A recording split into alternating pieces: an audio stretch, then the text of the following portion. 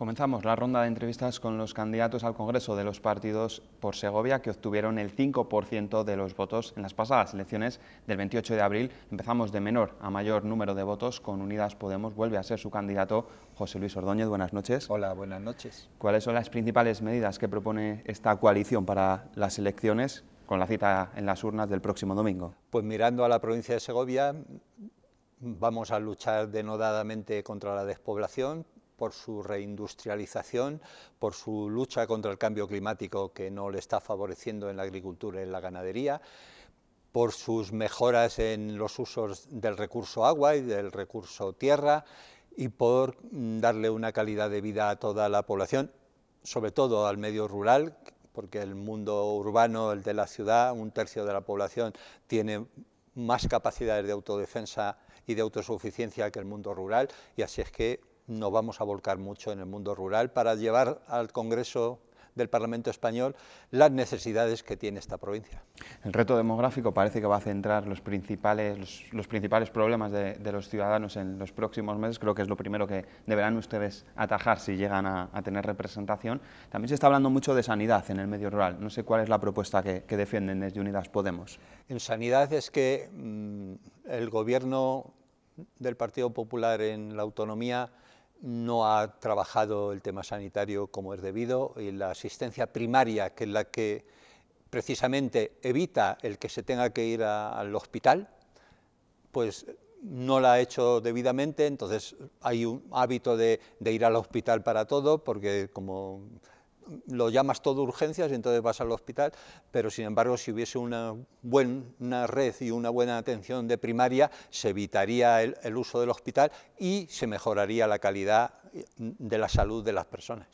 La sanidad es, verdad que es una, una competencia que está transferida a las comunidades autónomas. Yo le quería preguntar por el empleo qué se puede hacer para fijar población, porque cada vez son más los jóvenes que deciden emigrar ante la falta de, oportunidades. Bueno, el que haya competencias desde un punto de vista administrativo, que estén, eh, que sean eh, propiedad, entre comillas, de la autonomía y otras de los municipios y otras del Estado, desde un punto de vista del Congreso, del de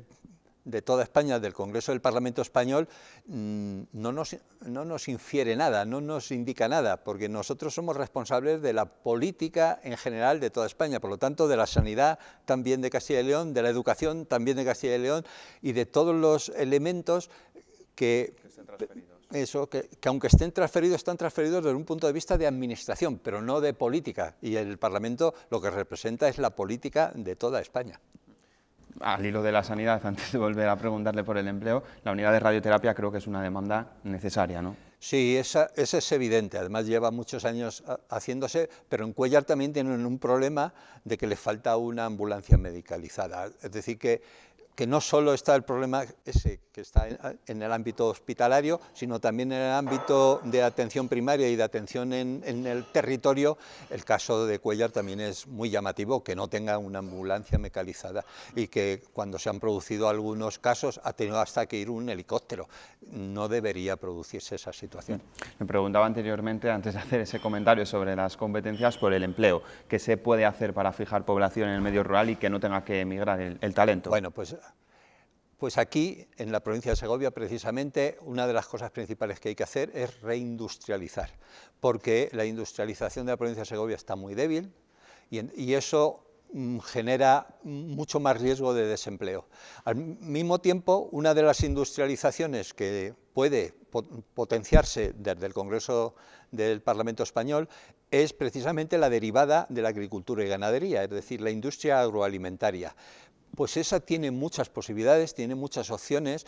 aunque algunas personas dicen que no hay suelo industrial suficiente, en Cuellar sobra suelo industrial, o sea que no hay problemas de falta de suelo para instalarse, lo que sí hay es falta de, criterio, hay que tener un criterio general para toda la provincia, pero desde una visión de todo el Estado, para que pueda producir el, interés de aquellos que quieran eh, poner en marcha iniciativas que atiendan las necesidades del común de las gentes, pues que eh, opten, que se dirijan precisamente a nuestros territorios de la provincia, tanto en el ámbito de la ciudad con las posibilidades que tiene, porque ya tiene unos polígonos desarrollados, como de las dos grandes poblaciones, el Espinar y Cuellar, pero también el mundo del nordeste nuestro, que está muy vacío y que necesita también una revitalización a través tanto de, fomentar una buena agricultura y ganadería como una industria agroalimentaria derivada de ello. El número de parados bajó en la provincia de, más de, menos de 7.000 personas. Eh, ¿Qué se puede hacer para crear sobre todo empleo de calidad y que luego las pensiones, pues también el día de mañana, pues haya un sistema sostenible? Sí, es cierto que tenemos una situación de desempleo relativamente favorable, pero eso en cuanto a cifras. Pero resulta que es que se nos va a la juventud a otras zonas de España, pero incluso a otras zonas de la Unión Europea e incluso más allá de la Unión Europea. Por tanto, sí que hay que hacer un trabajo de, retención del talento y de retención de los cerebros en nuestro territorio, porque ese potencial lo hemos generado aquí y es, son parte de nuestra sociedad. Perderla porque se tengan que ir a ganarse la vida a otros lugares no es una buena política desde un punto de vista de los representantes políticos de nuestra sociedad. Derogar la reforma laboral es otra de las medidas que si ustedes llegaran al, gobierno intentarían atajar ¿no? desde el primer momento. Sí, porque nosotros sabemos que hay que incrementar salarios y que incrementar puestos de trabajo y las reformas laborales del 2010 2012, una del PSOE y la otra del PP, están siendo nefastas, son las que están generando la precarización que tenemos en estos momentos. Y entonces eso está haciendo que la vida familiar de las personas trabajadoras se resienta mucho, porque llegar a fin de mes cuesta mucho trabajo. No sé si está, todos los ciudadanos están desencantados con la política, ¿cómo les van a convencer en los días que quedan de, campaña para que vayan lo primero a votar y luego, bueno, pues depositen el, el voto de su formación? Bueno, es que hay que distinguir entre algunas personas que dicen que hacen política y es politiquería pura y dura y los que de verdad hacemos política que no vivimos de la política, sino que dedicamos nuestro tiempo libre y nuestras capacidades a la política y eso sí que lo reconoce la ciudadanía y yo creo que sí que van a votar al voto más útil que hay en la provincia de Segovia, que es Unidas Podemos el que hay, parece que hay un diputado en, juego, están las encuestas ahí, que el tercer diputado que pueda haber en, Segovia, pues va a un partido, va a Vox, va a Unidas Podemos, lo puede tener el Partido Popular, el PSOE,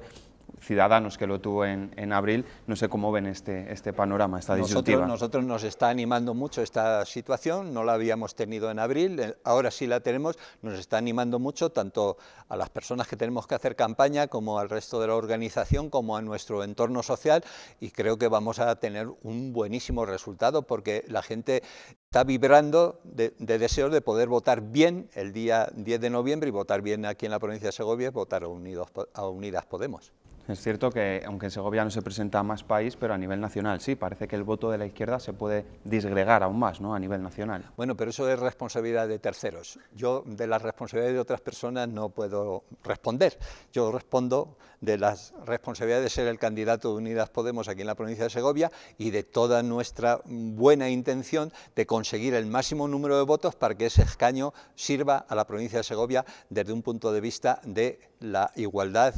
social, de la justicia social y de una calidad de vida mejorada para toda la población.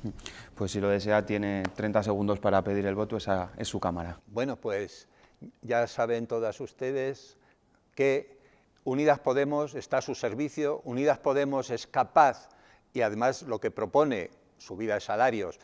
mejora del recibo de la luz, bajada de los alquileres, Mm, subida de las pensiones, todo eso se puede hacer porque hay otros estados a nuestro lado que lo hacen. Así es que, como es posible, voten a Unidas Podemos, que lo que propone lo vamos a hacer. Muchísimas gracias por estar con nosotros y mucha suerte el domingo. Mucha suerte necesito, pero lo que necesito son muchos votos. Con él hemos comenzado esta ronda de entrevistas. Continuaremos hasta el viernes con los principales candidatos de los partidos por Segovia.